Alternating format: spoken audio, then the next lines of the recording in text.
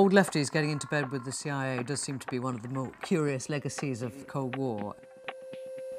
What did the CIA have in common with the likes of Jackson Pollock? I don't look at Jackson Pollock and see in those random splurgy lines um, a metaphor for the great rugged individualism of the United States of America. That's not what I see, but that's what the CIA wanted me to see and the audiences to see.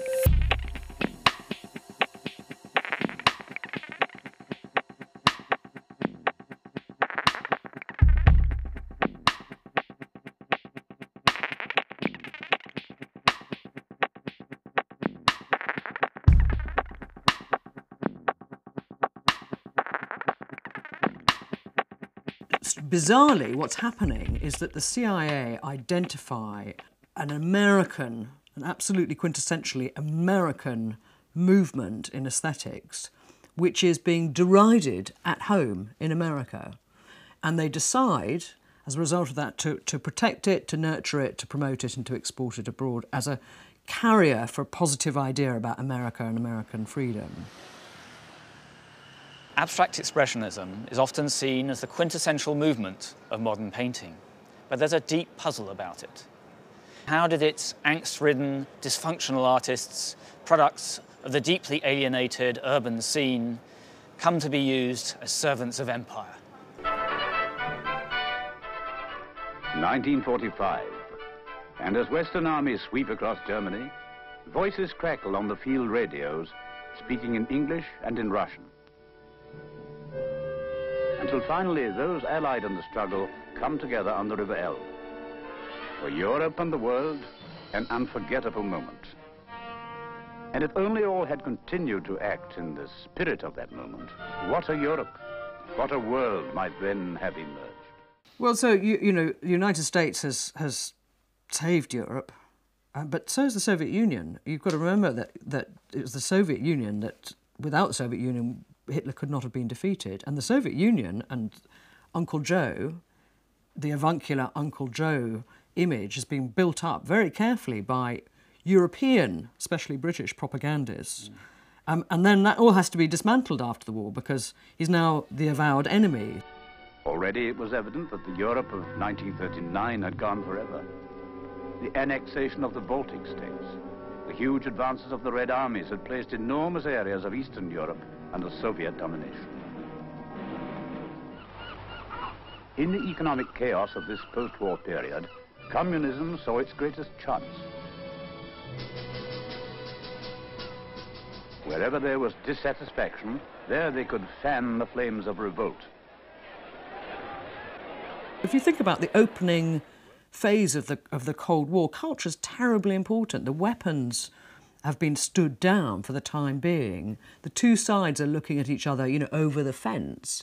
And, and what they, they are fighting with initially, and it lasts the whole way through the Cold War, and in fact, I would argue is the central sort of um, theatre of the Cold War, they're fighting with culture.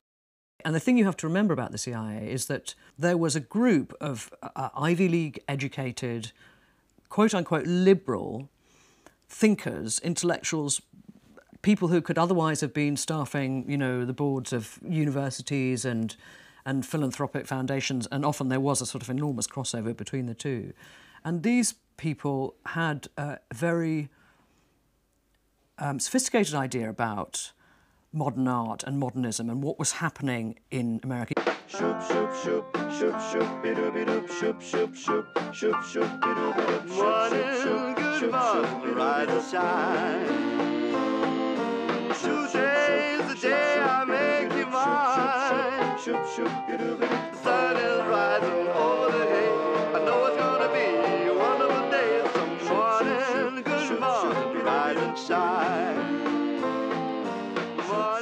It starts initially really as a response to internal, domestic arguments against modern art as something that's left wing, incomprehensible, repugnant, where uh, publicly you have congressmen on the floor of Congress denouncing it as um, commie inspired, un American, uh, deliberate, and perhaps even treasonous effort to subvert American values.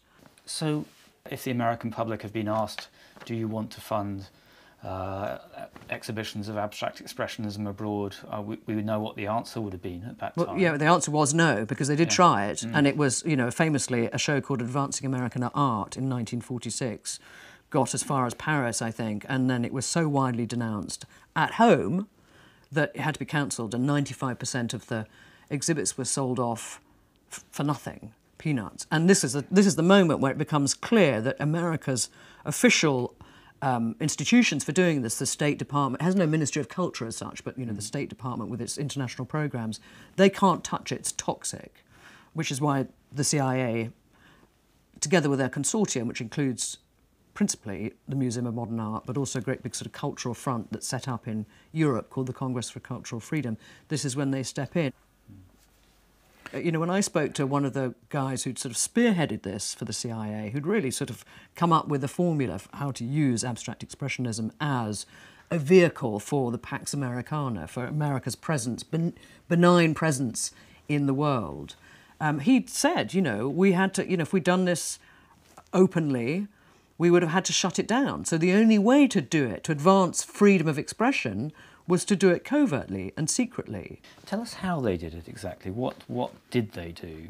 They did well. What the, so there's quite a few people working at the CIA, including the man who's heading up this um, international organisations division. It's called a guy called Tom Braden, who's impeccably connected. He's worked for intelligence in the Second World War.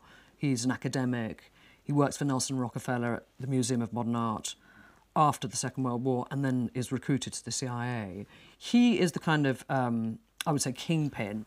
So essentially, it's the CIA, Tom Braden and his division um, the Museum of Modern Art, particularly its international program, the Congress for Cultural Freedom, which is a, a, as I said, uniquely a CIA creation, which is based in Paris with huge funds, and has access to the major galleries of every major capital in, in Western Europe. Some people have said to me when I've been talking about this, to say it's interesting that the CIA make better art critics than most of the art critics at the time, because in a sense they see this coming and they back it before anyone else does. Okay, you can make claims, and critics did make claims that this is the new great American painting, but I wonder how plausible they would have been. Why would you have not fixed on something which had identifiable subject matter, indeed American subject matter, you know, Edward Hopper or something of this sort? I mean, if it was Hopper, it would be socialist realism, sort of.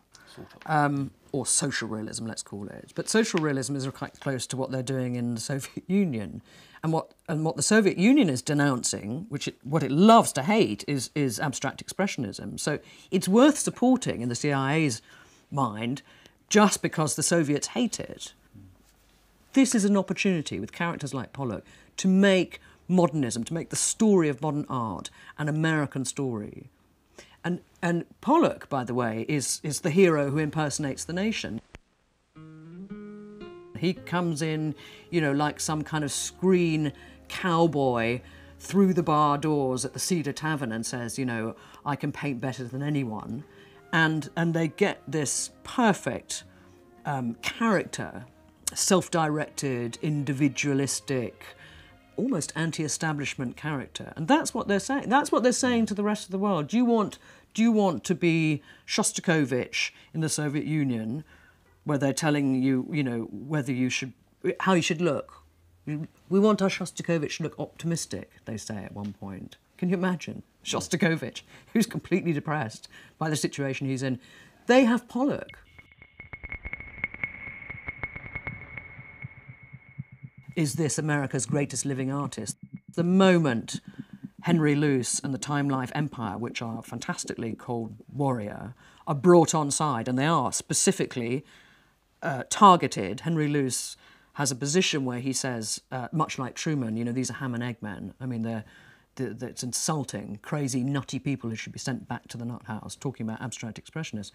He gets a letter, a sharp sort of letter from uh, someone at the Museum of Modern Art, and indeed from various CIA people who he knows, saying, "No, no, no, you've got it all wrong. Can you not? Can you and your publications not sort of turn this round and and uh, support this?" And then suddenly you get this Time Life spread on Pollock this idea that this man uh, who's struggling with alcohol and and chucking cans of paint round in a studio that's falling apart somewhere in the Hamptons, the idea that he is becomes the cherished vessel of American freedom, of the official, if secret, idea of American liberal freedom is is so fantastic you wouldn't credit it. You know, you just wouldn't think it's possible. But that's that's what happens, and that's why the, the CIA thinking is very sophisticated. The money trail is quite complicated. You have a series of pipelines coming from the CIA, hidden pipelines, which go to front organizations. Uh, there was one I found, a foundation that was based in Miami called the Miami District Fund. When you look at their accounts, because of course the weak spot in all of this was there were wires hanging out the back of the radio. When people like me went off and looked at the tax returns of some of these charities, official charities, which were required by law to mm. send tax returns in, you'd find these uh, um, discrepancies or anom- anomalies. So you, you, had this Miami district fund uh, put some money, $10,000, into an art exhibition that was sponsored by the Congress for Cultural Freedom in Paris.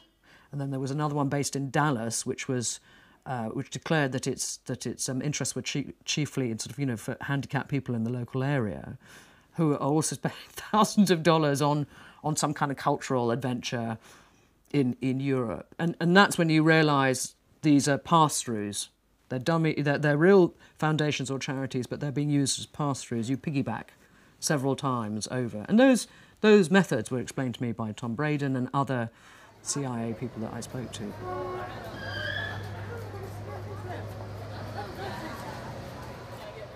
New York in particular, but America was now the centre, the self-designated centre of modern art in the world, and you cannot be uh, great politically without great art. That's the model. That's the model that the CIA were following. You cannot be Venice without Tintoretto. You cannot be Florence without Giotto. You cannot be New York without Pollock. That's what I'm saying. I'm not saying Pollock's to blame. I'm not saying that he was complicit.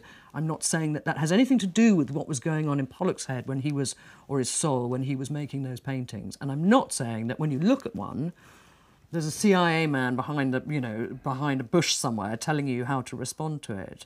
I'm simply saying that the way in which it, emerges into the sort of public consciousness across the world at a time when nobody else had any money to move this stuff around and to give it this kind of backing, that is historically linked to a Cold War, ideas about propaganda and, and psychological forms of persuasion.